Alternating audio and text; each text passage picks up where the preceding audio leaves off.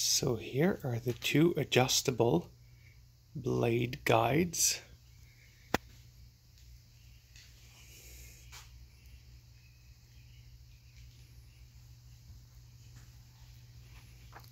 And I put them backwards. The top one is left to right and the bottom is right to left.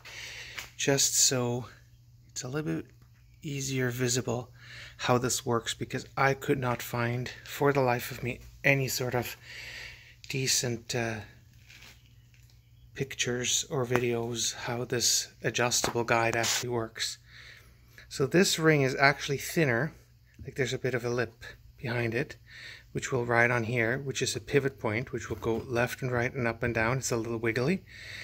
Then this one here is threaded right through here and then through this box. Now this is the one that goes through this hole, then through the spacer, which makes up the space in the back here so that that it can roll and still have a bit of a gap in between.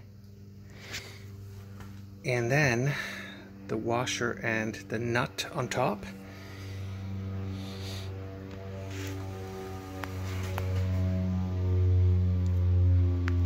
So I'm going to take a light and shine from behind. Sure if that's really clearly visible or not. That the inside is actually bigger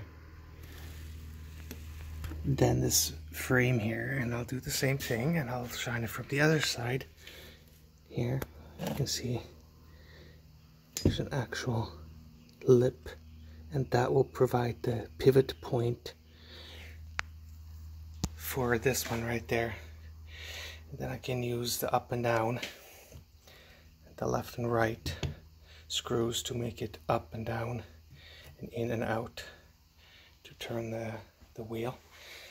And then this one here goes through here and this one there.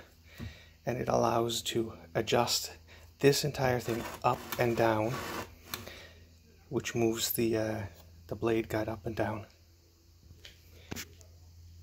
So now I'm gonna go paint it and then this is done